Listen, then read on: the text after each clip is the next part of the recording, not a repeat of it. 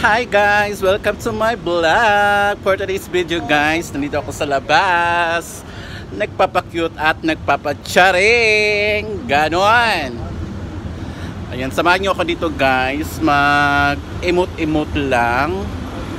Mag-emote-emote tayo sa kalagitnaan ng init ng panahon.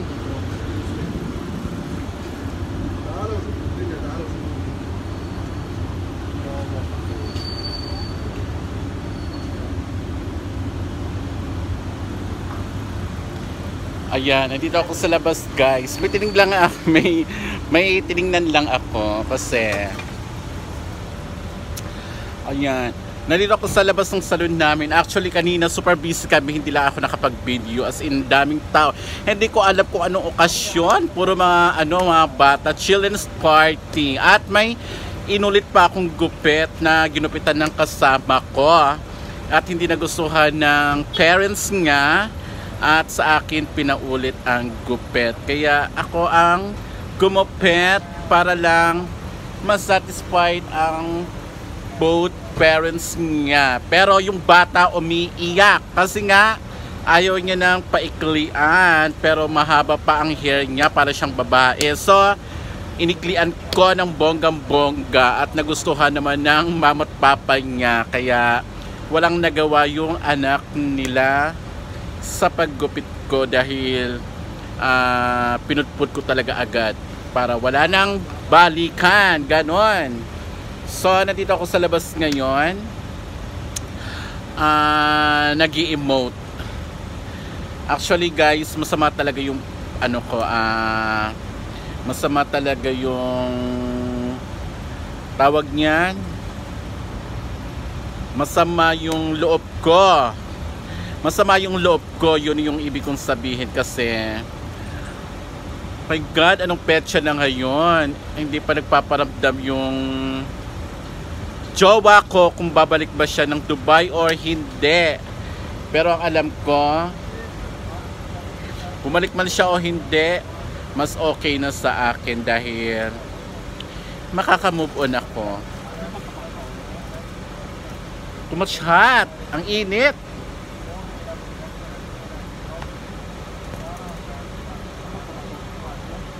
super init dito sa labas guys. Kaya nga. Papasok na lang ako.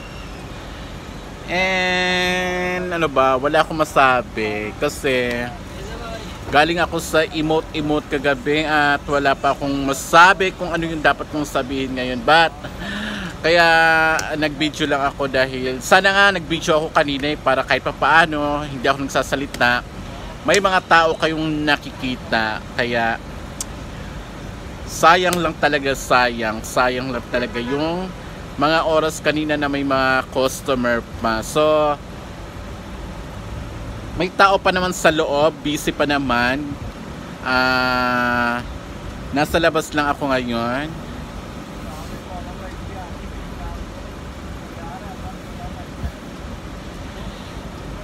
nasa labas lang ako kasi nag-ano, may kausap kasi may sinisinyasan kasi ako kaya napatigil ako. Uh, mamaya papakita ko sa inyo sa loob pag uh, nakapasok na ako.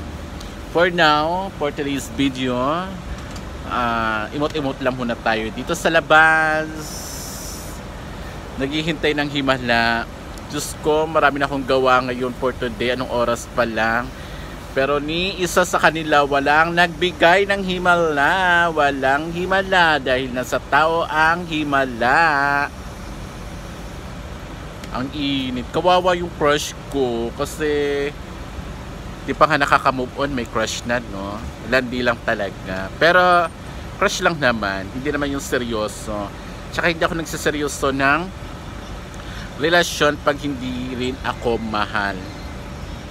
So, crush ko lang naman siya. Kawawa, na, naawa lang ako sa kanya kasi yung isang mata niya parang na-infection.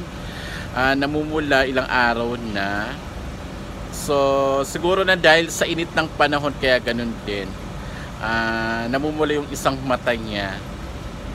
Pero, meron naman siyang medicine na. May eye mo naman siya. Pero, try ano natin, i-check pa natin yan mamaya or bukas. Kasi pinapacheck niya sa akin kung ano yung ano sa ano. sabi ko sa kanya magpa-eye check na lang muna siya.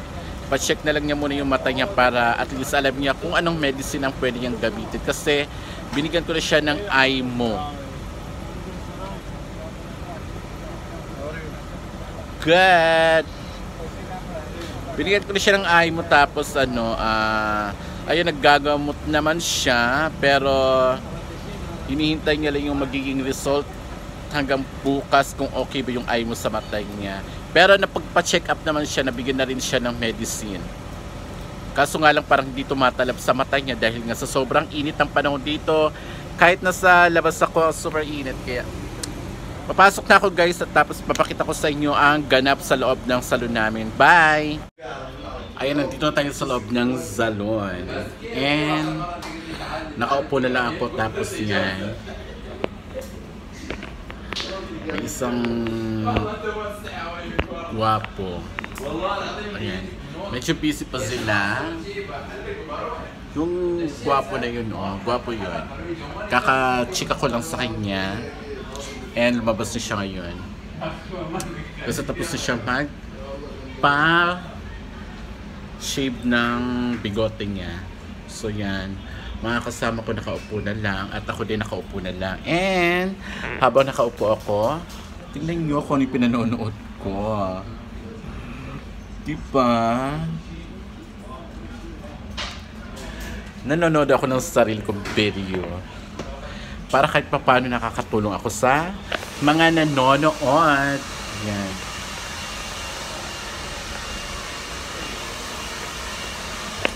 Manood din tayo, no?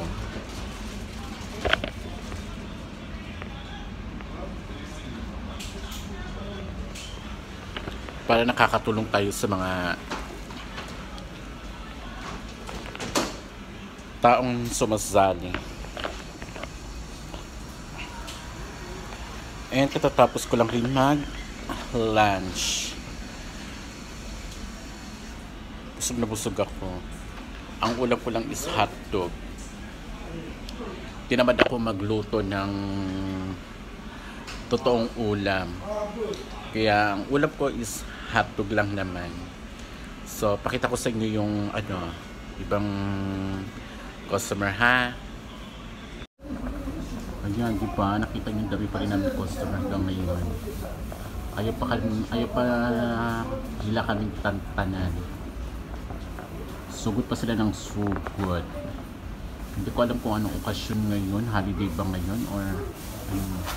Ang daming customer today.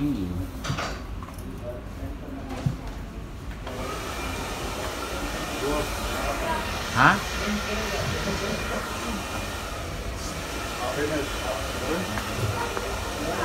We want manicure after I watch this one because Hi, I'm back. I'm back. I'm back. I'm back. Ang dami pa rin tao sa loob. Diyos ko, ayun, kita nyo, oh. May nagpapagupit pa. Ayan. Ang dami pa rin tao sa loob ng salon namin. Hindi ko alam kung anong okasyon today super busy kahapon pa busy actually nung Friday pa kami busy until now but uh, sa ngayong araw na to hindi ako masyadong busy but Friday and Saturday busy ako but today Sunday no busy for me but okay lang kasi at least Nagkaroon naman ako ng anim na customer pero Diyos ko dahil, tingnan nyo sa loob. Busy pa, busy pa sila oh. Ang dami pa nilang customer sa loob. Yan oh, nakikita nyo. Hindi lang ako makapagsalita sa loob kasi nahihiya ako ah. mga customer tumitingin sa akin kung bakit ako maingay kung sino daw yung kasi may isang customer nagtatanong sino daw kausap ko kung busy ba daw ako.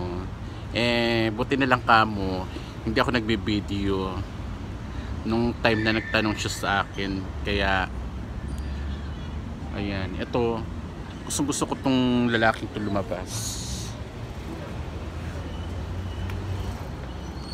may lalabas na customer, gustong gusto ko to. Kaso lang, syempre, nakakahiya pag gusto mo yung isang tao na hindi ka naman gusto. Ganon.